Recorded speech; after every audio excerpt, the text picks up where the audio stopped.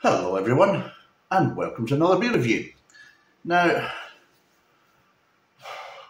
the beer we're reviewing today wasn't actually the beer I was planning to do because I went looking for the beer that uh, a viewer had mentioned about and I couldn't find it. Now, the first time I went looking for it was probably understandable because I was looking in the wrong shop. Because I thought it would came from Lidl, but the beer I was looking for actually came from Aldi. And then I was looking in Lidl and I couldn't find it. So I went back to the drawing board and I realised that's not my mistake. I was looking in the wrong bloody shop. So I looked to my local Aldi and still couldn't bloody find it. So I wasn't going out empty handed a second time. So I decided to buy something else.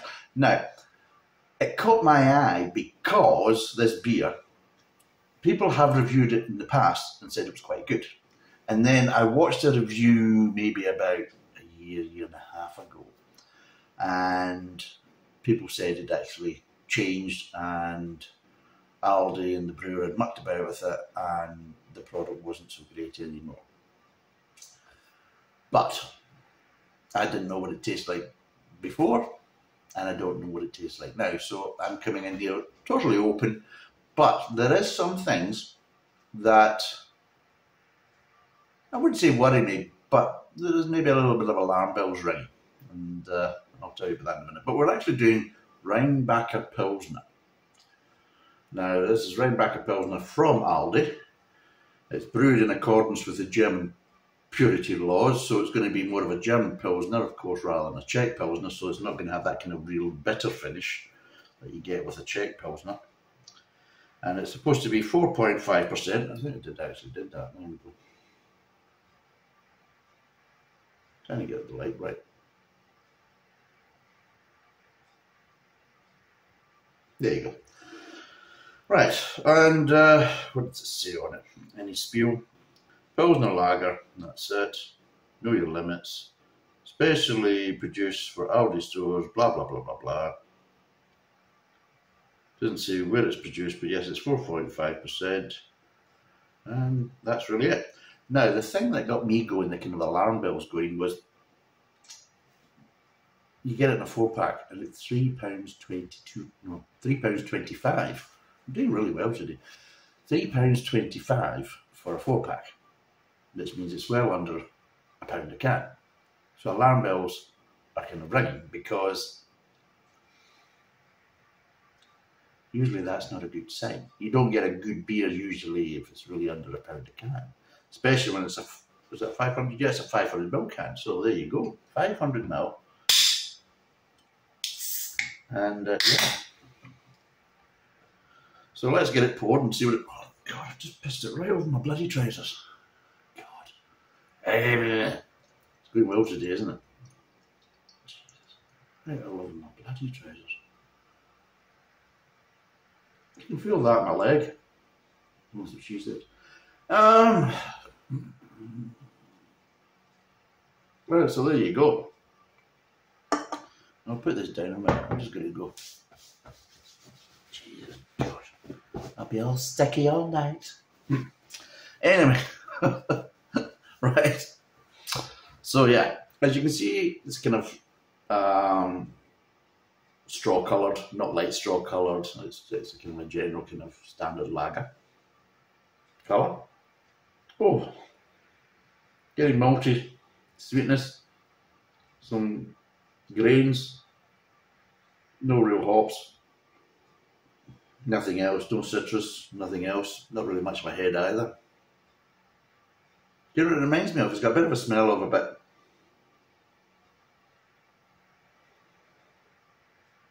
It smells a little bit between kind of like slightly Stella Artois and uh, maybe hints of Foster's or Kronenbourg in there as well. It smells, it smell really pilsnerous. It does smell more kind of lagerish. And bloody flies, good. Just love shit. Anyway, why the bloody flies? I don't know. With them bloody flowers, the blooming white ball. Bloody block flies in here. But anyway, to cut a long story short, it doesn't smell like a traditional German Pilsner, it certainly doesn't smell like a, a traditional Czech Pilsner. So there you go. And again, the head's almost dissipated. A wee bit kind of uh, lacing of the glass, but let's see what it tastes like.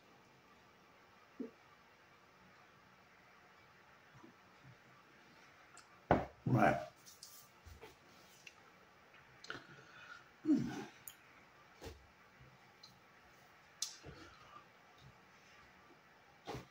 I wondered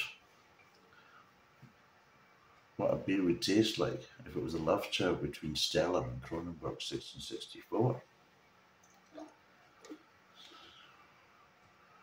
Well, I wonder no more. Yes, it is a bit like that. It's not really a pilsner. It doesn't really have that kind of crispness to it.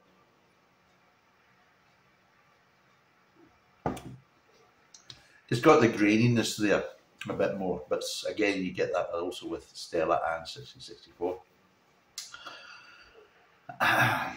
what it does have, it has that kind of slight. I'm not going to say bitter because bitter you might think it's you know maybe supposed to be that slight kind of chemical sourness to it. That's prevalent in both Kronenbourg 1664 and also in Stella Artois. A kind of slightly chemical kind of bitterness. I'm going to say the word bitterness, but it's not bitterness that I would say it's a kind of natural bitterness, maybe coming from hops or whatever. It's more of a bitterness of, and with a slightly kind of chemical kind of nature to it. And it's one of the things I really hated in Kronenbourg 1664 and I really hated in uh, Stella Artois. It's not as strong of a kind of bitterness as you would get in Stella, and especially not as strong as in 1664. But I've got to admit, um, there is kind of uh, hints of it that uh, does kind of spoil the finish. And uh, it's something I really, it's a flavour I just really do not like in uh, lagers in any way, shape, or form.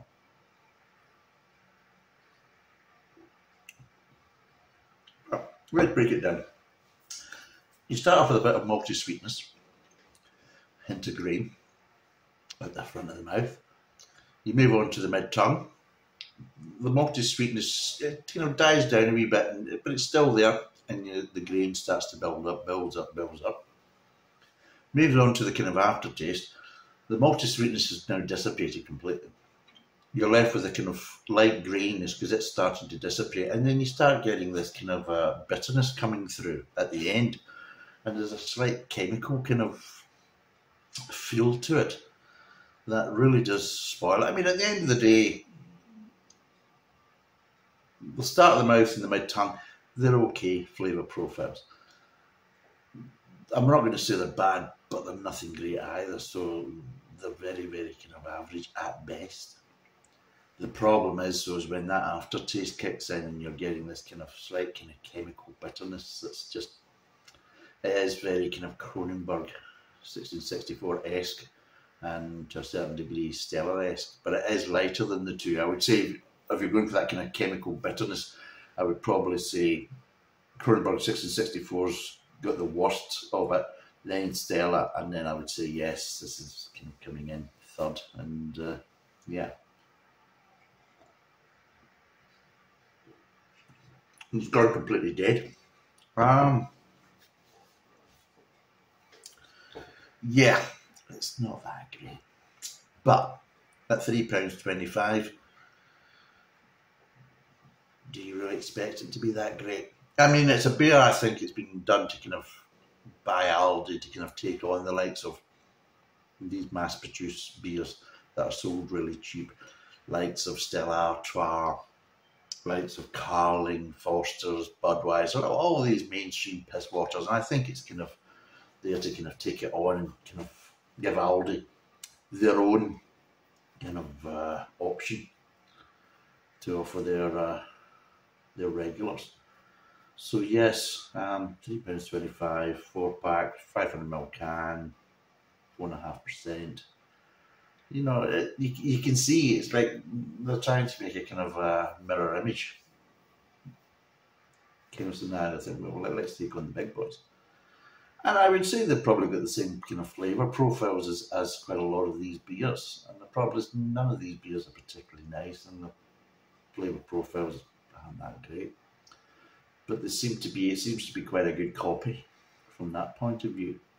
And if you like that, then that's great. If you like these type of drinks and profiles, which is quite interesting,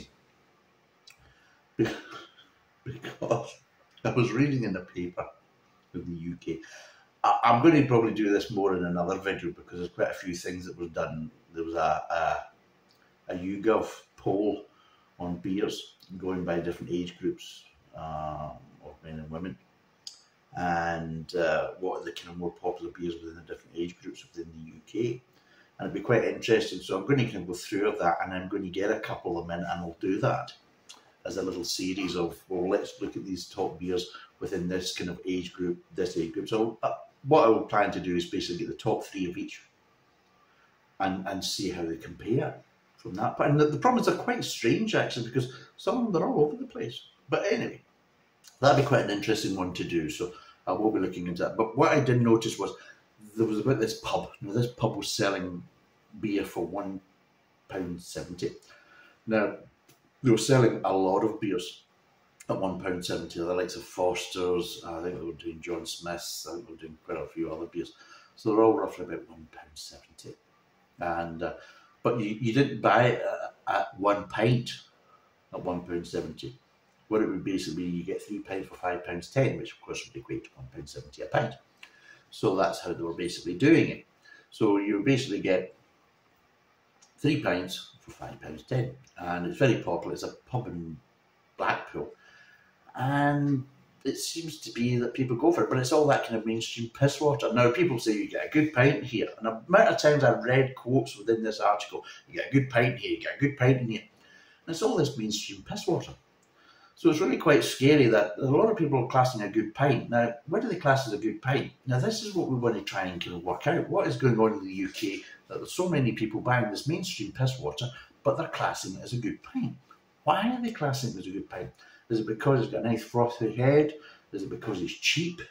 Is it because it it's sold at a, because one thing I do notice, especially within the pubs, because if you actually uh, I've done this, I've been quite sad, I've been in there with a thermometer. What I have noticed is a lot of your mainstream piss water is actually sold at a really, really cold temperature, really, really highly chilled. To the point is that a lot of them are around about three degrees. Now, a normal thing, uh, this, I've got this roughly about six. Most of the time when I'm basically using the the beer monster when I'm doing the kegs, I've got them around about six, seven. If it's more of a kind of a, an ale, then I'll maybe take it up to about eight or nine, that type of thing. But on average, it's ranging between six and nine.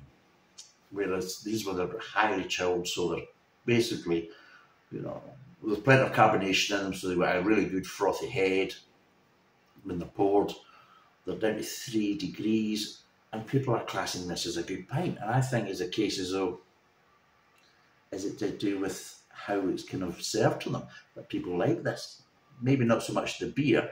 They like the price of the beer. They like the the look of the beer because it comes out with a nice head and things like that. And uh, it's chilled within an inch of its life that you probably can't taste anything. So you could probably find that you could probably put a Stella, you know, a pint of Stella, of Foster's, and a of Carling, and you'd probably kind of struggle to kind of really identify the individual flavours of each beer. And to the point I'm not going to say you really think they're all the same, no, I don't say that, but I would say there's a case so a lot of the, the flavour profiles of these three beers would probably be quite toned down because of how cold it's served at. But yeah, I just thought it was crazy. And they're selling a lot. I think it was the case as though every week they're selling over 8,000 pounds in this one little pub in uh, Blackpool just because of the pricing. And it's all the kind of mainstream piss water. So it just shows you there's a lot of people buying it.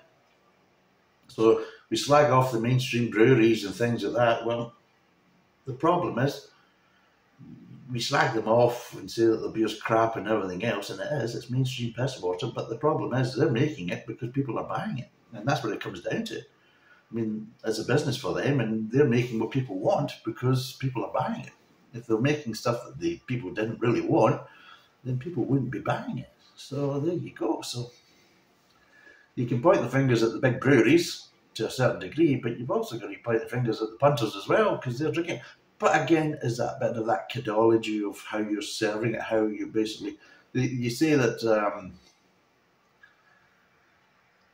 you know a feast for your eyes. I mean, you get a lot of this in food and uh, what's appetizing and what's not appetizing to the eyes. And I suppose if you're basically dressing it up so it looks appetizing to the eyes and then you're chilling it so much that you're basically killing off a lot of the flavor profiles, then uh, you're making it easy for people to drink it and uh, it looks nice, it looks like a good pint. So, yeah, maybe that's why they go for it. For this, now what would I give this out of 10? I'm going to give this a 3 out of 10. I can understand, I mean, it's £3.25, people are working in budgets, and yeah. I mean, what is it? It's roughly about three ninety nine for a four pack of Foster's? It's roughly about that for the kind of Carlings. It's roughly about a pound a can. This is quite quite a bit under a pound of can from that point of view.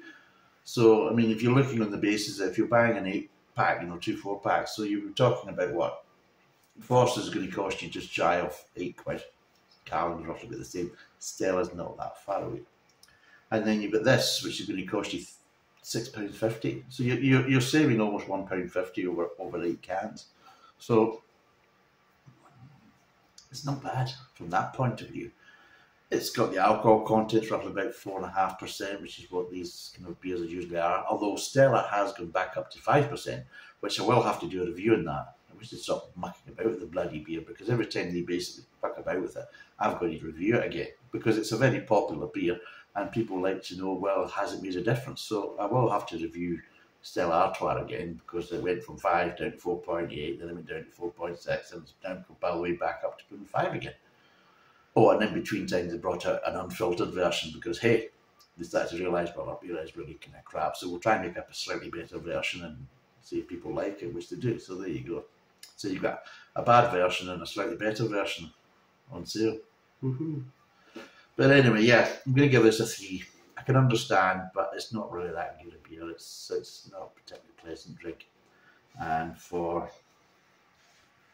the three pound twenty five, I can understand. I can understand. But the problem is, if they brought it, if they spent a little bit more, if they brought it up to maybe a pound a can, they could maybe have got a better beer. And I, I know from my business point of view, I'd rather have a, a better beer at an okay price than having a quite a disappointing beer at a really cheap price. That's how I look at it. So my view, add the extra per four cans, bring it up to four pounds instead of three pounds twenty-five. Add the seventy-five pence, and even try and get a better beer. So yeah, three out of ten.